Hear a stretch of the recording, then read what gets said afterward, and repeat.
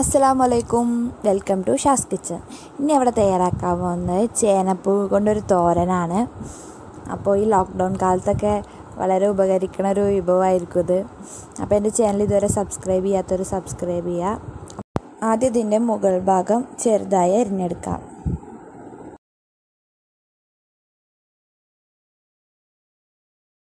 അതിനുശേഷം ഇത് പൊളിച്ചെടുക്കാം.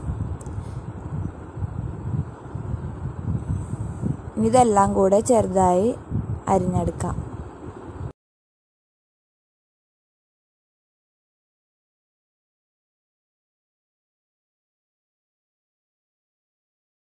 ചേനപ്പൂ ചെറുതായി അരിഞ്ഞ് വെച്ചിട്ടുണ്ട്.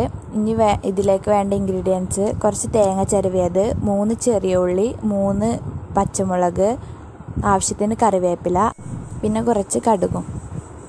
അപ്പം ഇനി ഇത് ഒരു ചട്ടി വെച്ച് കുറച്ച് എണ്ണ ഒഴിക്കുക.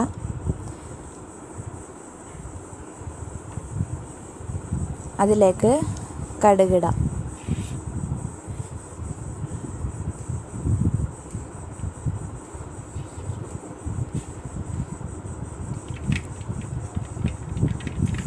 കടുക് നന്നായി പൊട്ടി വന്നതിന് ശേഷം ഇതിലേക്ക് കുറച്ച് കറിവേപ്പില ആഡ് ചെയ്ത് കൊടുക്കാം.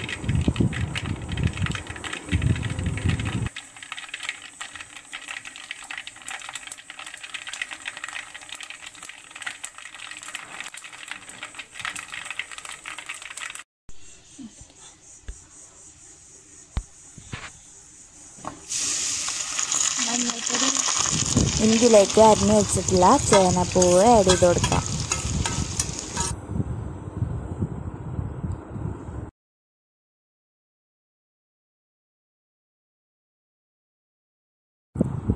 ഇനി ഇതിലേക്ക് ആവശ്യത്തിന് ഉപ്പും അര ടീസ്പൂൺ മഞ്ഞൾപ്പൊടിയും ആഡ് ചെയ്യുക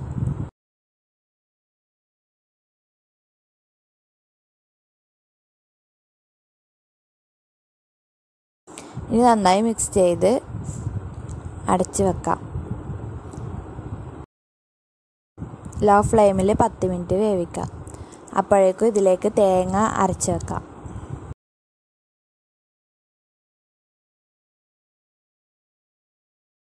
ചിരവി വെച്ചിരിക്കുന്ന തേങ്ങയും ചെറുതായി അരിഞ്ഞ ചെറിയ ഉള്ളിയും മൂന്ന് പച്ചമുളകും കുറച്ച് കറിവേപ്പിലയും കൂടി മിക്സിയിൽ അടിച്ചെടുക്കാം.